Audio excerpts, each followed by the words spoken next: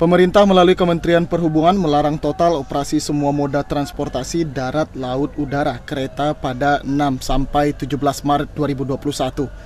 Hal ini dilakukan agar pelaksanaan kebijakan larangan mudik lebaran yang diberlakukan pemerintah demi menekan penyebaran COVID-19 tahun ini berjalan efektif. Namun kebijakan tersebut dikeluhkan oleh kalangan sopir bus akap karena dinilai merugikan sopir dan para pemudik. Misal salah seorang supir bus akap mengatakan momen mudik merupakan momen yang paling ditunggu-tunggu oleh supir dan perantau. Karena saat mudik terjadi peningkatan jumlah penumpang bus akap sehingga menambah penghasilan para supir bus. Sementara itu bagi perantau momen mudik menjadi momen untuk menjalin tali silaturahmi dengan keluarga di kampung halaman setelah tidak pulang lebaran tahun lalu karena terhalang kebijakan larangan mudik tahun 2020.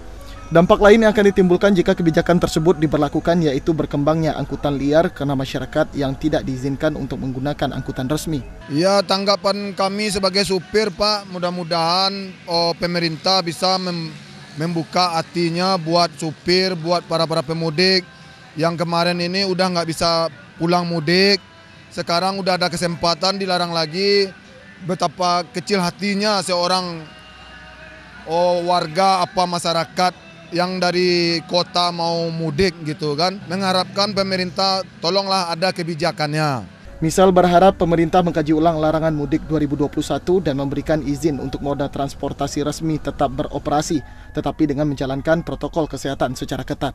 Irwan Santoso, Tua Saman Siregar, TVRI, Sumatera Barat.